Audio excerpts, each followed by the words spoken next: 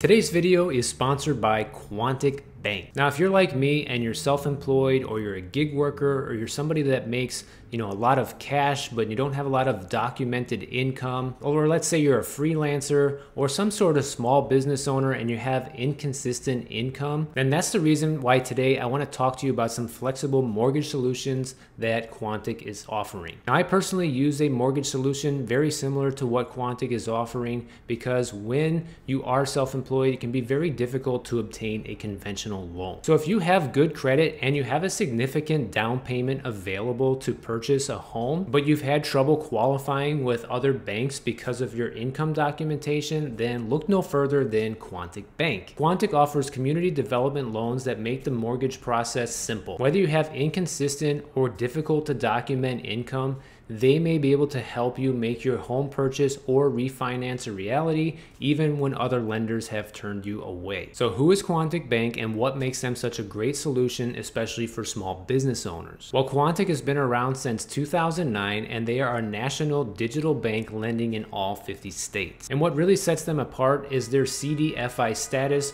which is a US Treasury designation and stands for Community Development Financial Institution. Being a CDFI means that they are one one of less than 3% of all banks that can accept flexible documents needed for a home loan. Their CDL or community development loans are truly unique and can help borrowers get approved for a mortgage based on their overall credit profile, not just their bank statements, tax returns, and W 2. So, why is it hard for some well qualified borrowers to get a mortgage? Let's go over what other lenders require you in order to get approval for a conventional loan. First off, most are going to look at your DTI or what's called your debt to income ratio. They do this in order to make sure that you make enough to cover expenses, and they also require your last two years of W 2s tax returns, and they want to verify income with your two most recent bank statements to make sure that your income is actually being deposited. And this is where it gets tricky for most small business owners, investors, or commission based professionals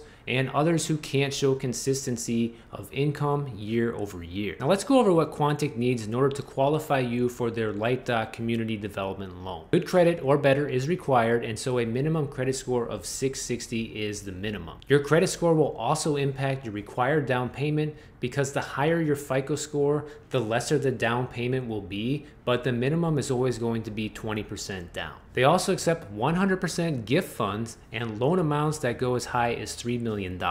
With their LightDoc program, income verification for self-employed borrowers will need a 12-month CPA, tax preparer, or accountant prepared P&L document, and you only need to be self-employed for one year. This program accepts Airbnb and short-term rental income as well and requires just one month worth of bank statements. For non-self-employed borrowers, you'll need a verification of income, and you'll be qualified based on your current income which helps if you recently started making more money. Lastly, their LightDoc program can be used for both owner-occupied and investment properties. For more information on Quontic Bank and the LightDoc Community Development Loan, or to see if you pre-qualify, you can visit them online at quontic.com slash mortgages, and I've added the link in the description below.